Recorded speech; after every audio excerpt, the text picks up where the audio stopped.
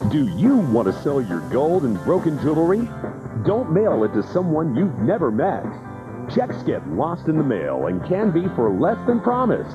Bring your gold and jewelry to your friends at Eddie's and Theodore and Daphne, your local cash for gold headquarters.